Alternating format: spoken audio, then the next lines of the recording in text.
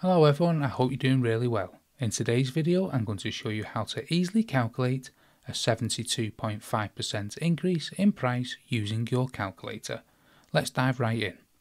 Let's start with our first example. Imagine you have an item priced at 7520 and you want to calculate the final price after a 72.5% increase. First you want to press the plus button on your calculator. Next you want to type 72.5, representing the 72.5% increase.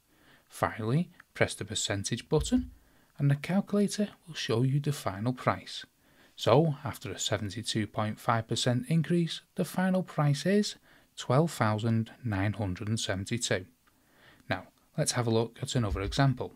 Suppose we have an item priced at 15,600 and we want to increase this price by 72.5%. Again, let's press the plus button. Then let's type 72.5, representing that 72.5% increase.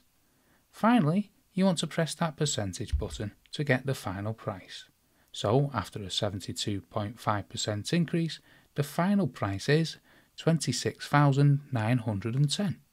And that's it. This is the fastest way to calculate a 72.5% increase in price using a calculator. If you found this video helpful, please give it a thumbs up and subscribe to my channel for more useful tips. Thanks so much for watching, goodbye and I'll see you in the next one.